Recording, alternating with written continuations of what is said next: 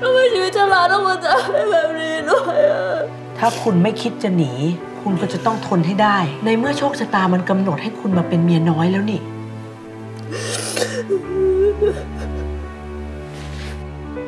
อุ๊ยนี่คุณโดนขนาดนี้เลยเหรอคะ เจ็บไหมคะเจ็บค่ะ ไม่เป็นไรนะ เดี๋ยวกินยาก็หายนะ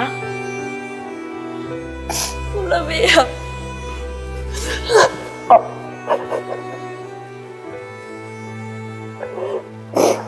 ชลาไม่ไหวแล้ว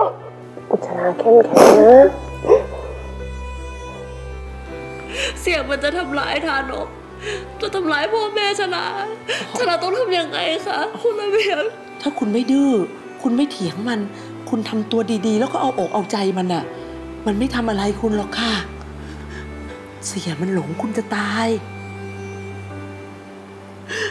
ใจเย็นๆนะคะ โอ้โหโถ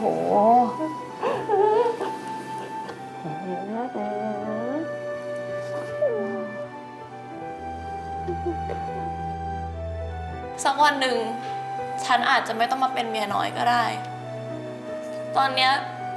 มันเหมือนมีคำว่าเมียน้อยติดอยู่ที่หน้าผากของฉันน่ะ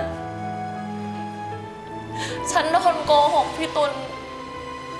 ว่าฉันมากรุงเทพเพื่อมาเรียน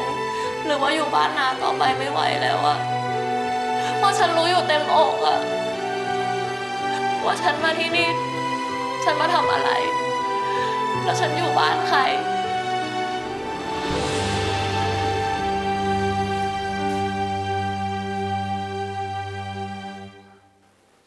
คุณ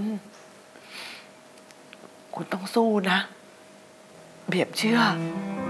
ว่า สักวันหนึ่ง มันจะต้องเป็นวันของคุณ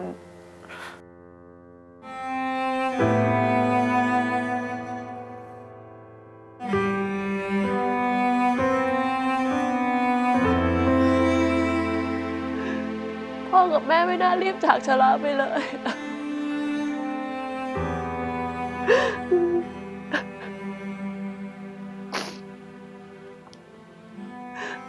ชลาขอโทษนะคะ ที่ชลาไม่ได้กลับบ้านเลยชลารักพ่อแม่นะ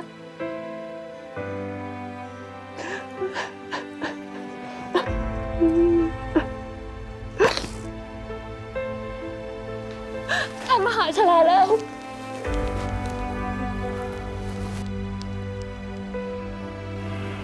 ฉันได้รับความยุติธรรมแล้ว ฉันถึงมาหาเธอมาขอบใจเธอ และมาบอกลาเธอชลาไม่ให้ท่านไปท่านอย่าไปไหนนะอยู่กับชลาสิคะ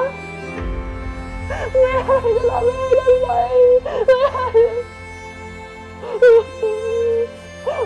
อย่าทิ้งชลาไปนะคะนะคะ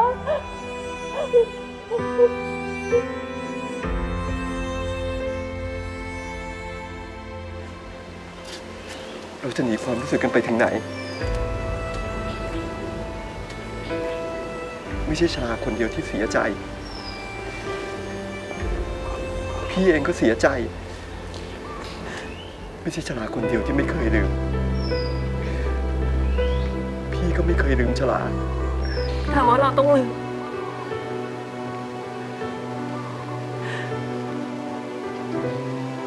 เพราะมันเป็นไปไม่ได้